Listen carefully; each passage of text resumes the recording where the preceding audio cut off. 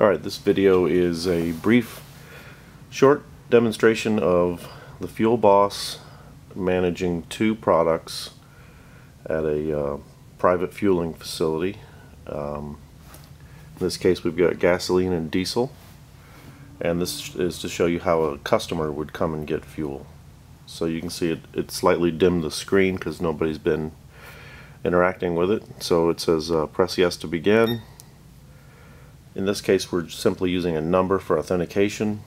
Um, I'm going to use 1000.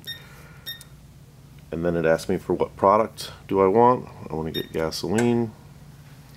You can see it's authorizing it. The light lit up and now on the screen it says authorized whereas the other one says idle.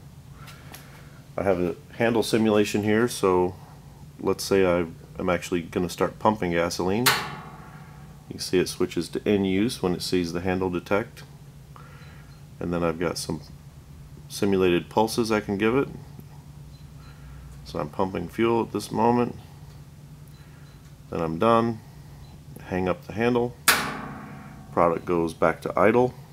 That record is recorded in the uh, flash drive.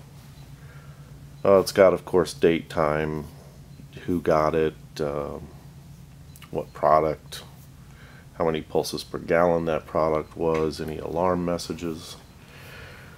But uh, again, this is a two product.